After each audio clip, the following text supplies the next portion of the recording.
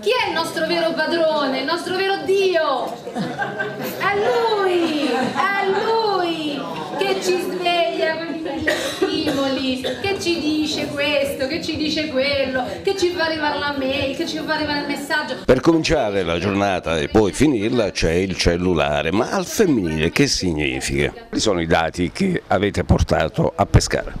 Secondo i dati di Union Camere, nella visione nazionale il 22% delle aziende costituite negli ultimi 5 anni vedono eh, quelle con a guida una donna triplicate rispetto a quelle degli uomini. Sono 51.000 unità approssimativamente le aziende costituite e più di 38.000 sono al femminile. L'Abruzzo è una regione virtuosa eh, per quanto riguarda l'imprenditoria femminile.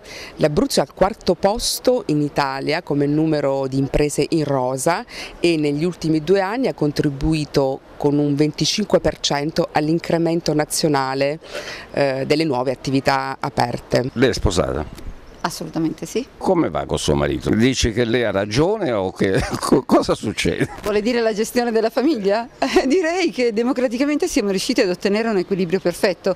Eh, evidenzio anche che ho altri due figli che sono comunque due uomini, quindi diciamo che il mio livello di allenamento è discreto. Bisogna vedere il livello di allenamento di suo marito. Reggiamo bene da 32 anni, secondo me è un risultato importante, Abbiamo, siamo riusciti ad ottenere un equilibrio paritario. Che è buono, è bello e distruttivo. Eh, no, è formativo.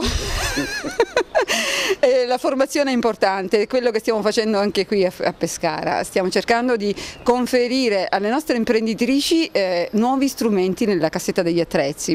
Quindi la donna eh, deve ancora superare gli ostacoli eh, del quotidiano, quindi quello di eh, gestire bambini piccoli, ehm, la famiglia, conciliare eh, il tempo, il lavoro. Eh, lei accennava, le donne hanno a che fare con dei bambini piccoli, anche dei mariti un po' piccoli.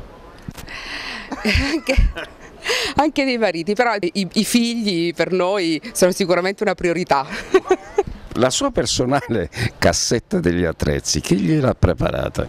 Eh, l'ho fatto sapientemente io dall'inizio quando ho capito che se non, non mi organizzavo avrei avuto molte più difficoltà. Corri di qua, corri di là, c'è bisogno ogni tanto di rilassarsi, per esempio così.